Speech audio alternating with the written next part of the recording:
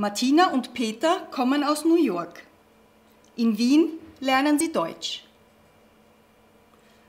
Harald fragt Martina, kommst du aus England? Sie antwortet, nein, ich komme nicht aus England. Ich komme aus New York.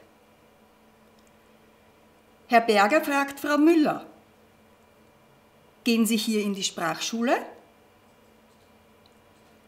Sie antwortet, ja, da lerne ich Deutsch. Ihre Freundin lernt hier auch Deutsch. Sie kommt aus Frankreich. Frau Müller telefoniert oft mit Herrn Berger. Er besucht Frau Müller manchmal auch zu Hause.